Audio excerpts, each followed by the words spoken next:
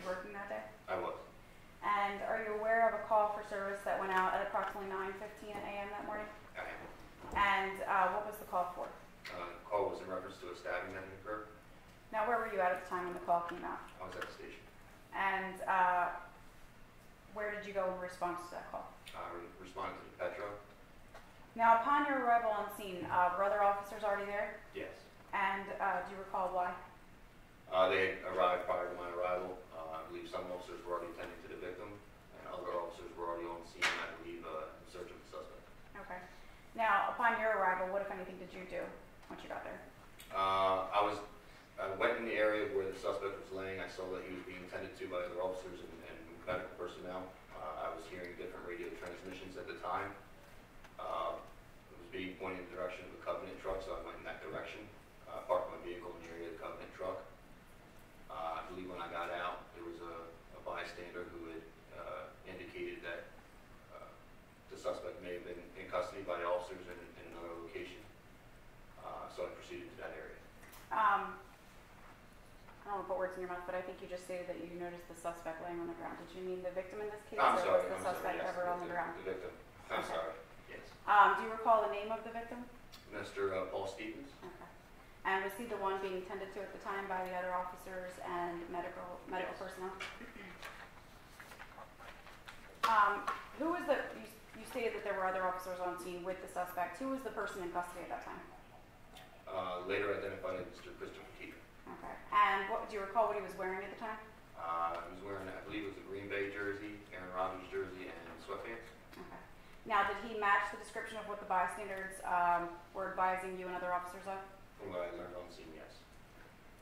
Um, now, after securing the suspect, uh, what if anything did you do at that time? After securing the suspect, um, after he was secured, I was briefed by Patrolman Guire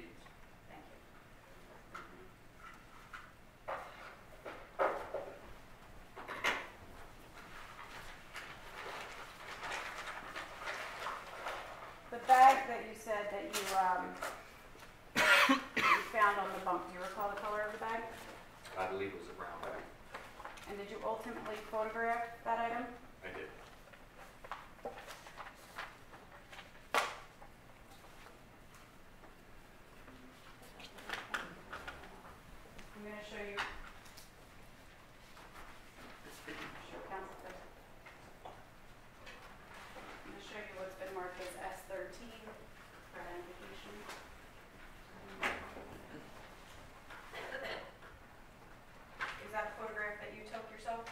It is. And is that the bag that you were just mentioning? Yes. And um, just describe what we see in that picture there. Uh, in the picture, it's a uh, first bunk has red sheets on it, blue pair of jeans, uh, brown brown satchel, and uh, a black colored jacket. Now, is that photograph in the same or similar condition as when you yourself took that picture? Yes. At the time, you're state to move 11 and S13 into evidence. Second. No objection. No objection. Thank you, public.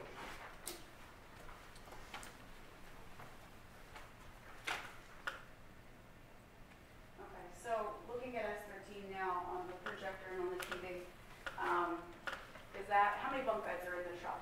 Uh, there are two. And um, the bag that you found there along with the items on the truck, is that what made you believe that it belonged to the defendant?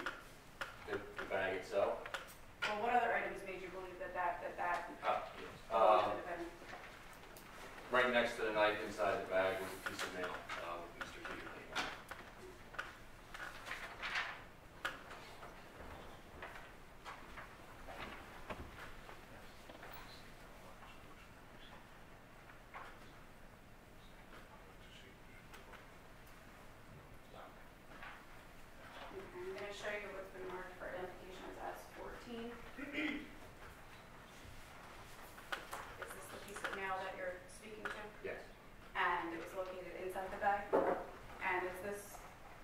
you yourself take this photo? I did.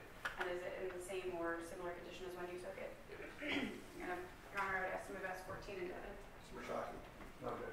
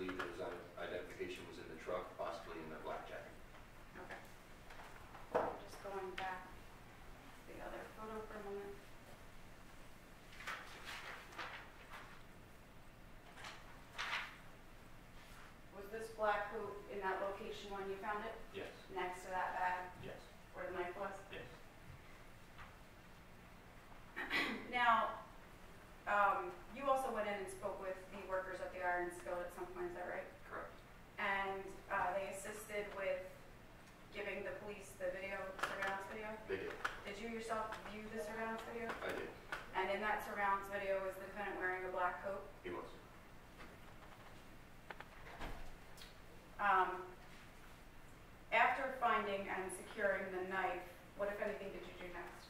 Uh, I was advised by Patrolman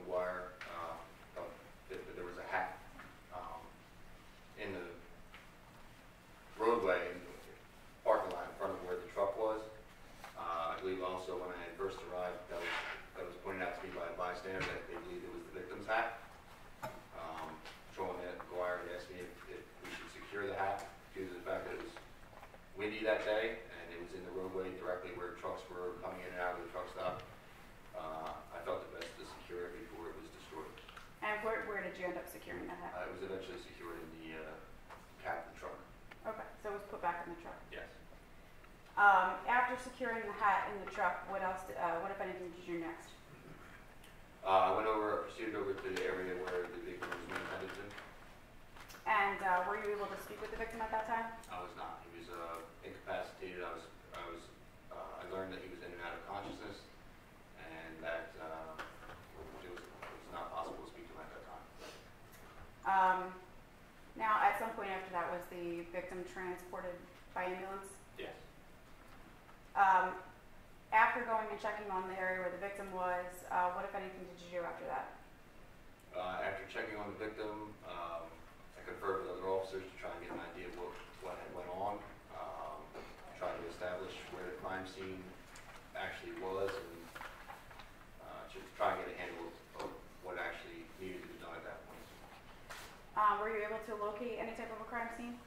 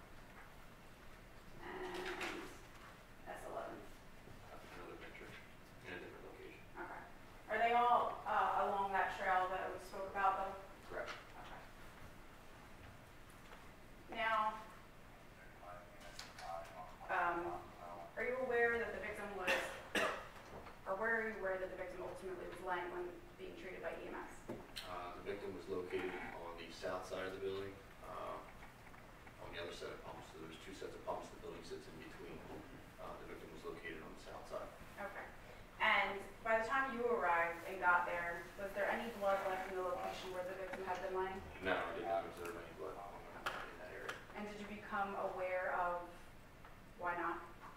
Yeah, I learned from Patrolman tests that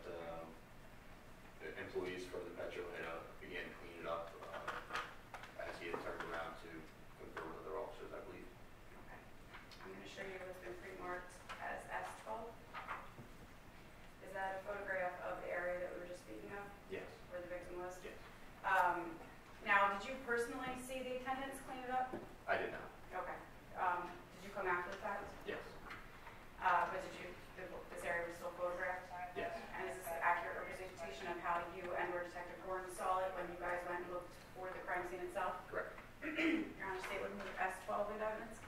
Commissioner Hockey? No, Dick.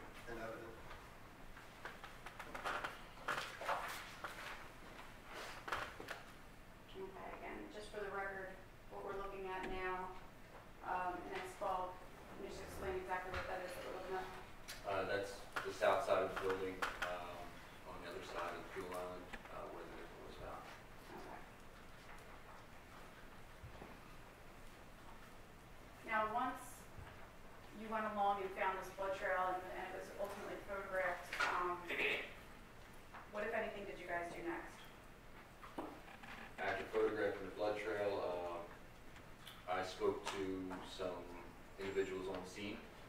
Uh, turned, actually, eventually turned the scene over to the prosecutor's office um, for further investigation, and I spoke to a, a bystander.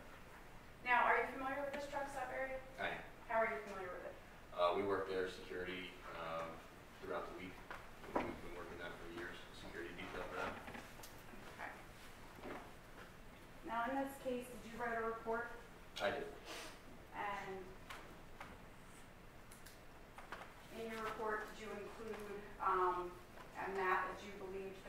the crime to be? yes, And was that something that you created yourself?